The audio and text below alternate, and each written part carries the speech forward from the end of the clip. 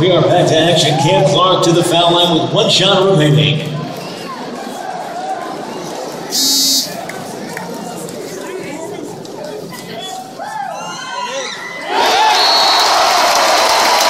Isaiah Cousins checks back into the open lineup in place of Clark.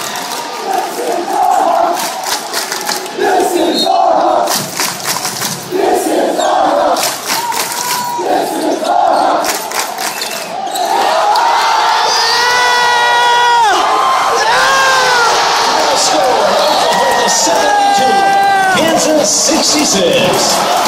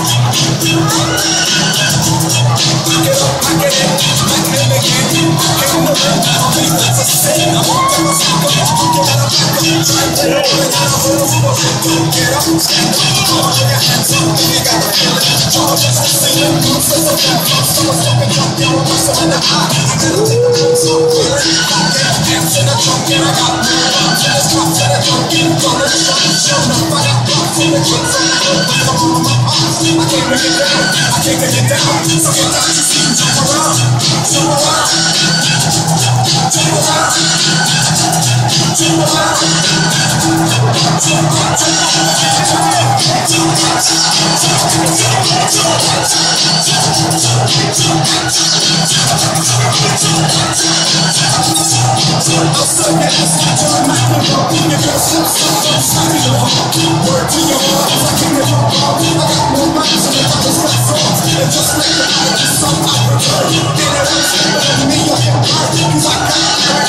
ain't got nothing